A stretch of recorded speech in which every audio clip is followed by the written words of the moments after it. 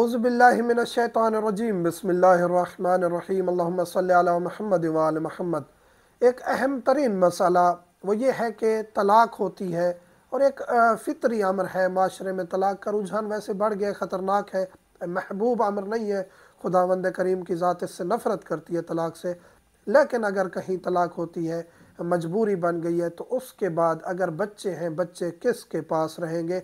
वालद के पास या वालदा के पास? ये एक बहुत ही मुश्किल अमर है, अदालतों की तरफ़ चले जाना।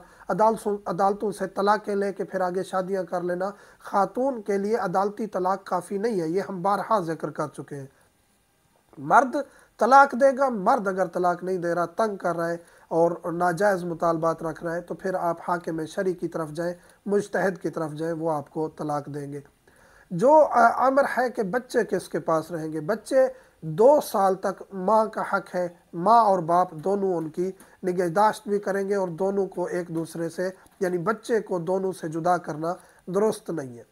दो साल के बाद बच्चा वालिद की मीरास है। मीरास से मुराद है कि वालिद उस पर वारिस है, वली है और माँ ज़बरदस्ती बच्चे को अपने पास नहीं रख सकती अगर तलाक हो गई है।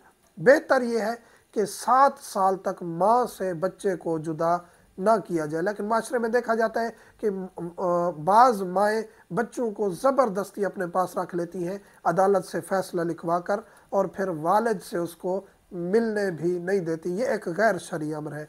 वालद वारिस है, बच्चे का बच्चा हो या बच्ची, उससे बच्चे को जुदा करना दुरुस्त नहीं है। हाँ जहाँ एक ऐसा अमर है जो वालिद बच्चे के लिए नुकसानदेह है, काफिर हो गया है, इस्लाम से हट गया है, शराब नोशी में है, दीगर अमूर है, बच्चे या बच्ची को ख़तरा है, फसाद का डर है, उसके जिस्मानी मसाइल का डर है, बाकी मसाइल का डर है तो उस सूरत में फिर बच्चे को हाके में शरी माँ के हवाले कर सकता है। इसके अलावा कती तौर पर जायज़ नहीं है कि बच्चे को माँ ले जाए और बाप से जुदा कर दिया जाए।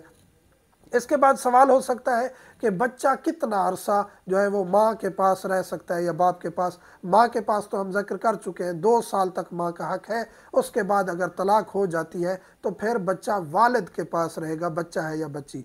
माँ को मिलने से नहीं रोका जा सकता, कभी भी। ऐसा नहीं है कि वालिद के पास आ गया तो माँ का मिलने का हक ख़त्म हो गया, ऐसा नहीं है। माँ मिल सकती है बच्चे को। उसकी सिला रहमी आप ख़त्म नहीं कर सकते। ऐसा आपके लिए जायज़ नहीं है कि वालद या दादा या चाचा बच्चे को माँ से मिलने भी ना दे, ऐसा करना जायज़ नहीं है। बच्चा माँ से मिलेगा अलबत् वो रहेगा वालद के पास। वालद उसको कहीं लेके भी जा सकता है, दूर भी लेके जा सकता है। उसकी असलाह के लिए, उसकी भलाई के लिए, उसके फ्यूचर के लिए बच्चा अपने पास रखे, बस माँ को उससे मिलने से नहीं रोक सकता। बाकी जब बच्चा बालग हो जाता है उसकी मर्ज़ी है फिर वो माँ के पास चला जाए। या बाप के पास रहे, उसके लिए फिर मजबूरी नहीं है कि वो किसके पास रहे। ये उसकी मर्ज़ी है, जब सन बलूगत पर बच्चा पहुँच जाता है, फिर उसको इख्तियार हो जाता है। ये एक शरी हुक्म है माशरे में उल्टा हो रहा होता है अक्सर चीज़ों में।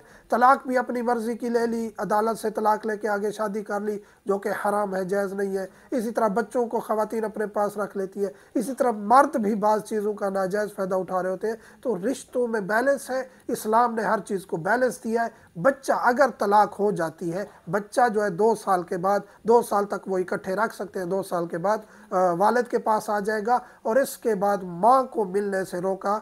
नहीं जा सकता। हाँ अगर दो साल के अंदर ही तलाक हो जाती है और माँ बाप दोनों देख रहे हैं बच्चे को और आगे माँ और जगह शादी कर लेती है तो फिर दो साल के अंदर भी उसकी ये निगरानी और खजाना जिसे कहा जाता है, फिर ये माँ से साकेत हो जाएगी क्योंकि उसने आगे शादी कर ली है तो फिर बच्चा टोटली वालद के पास आ जाएगा।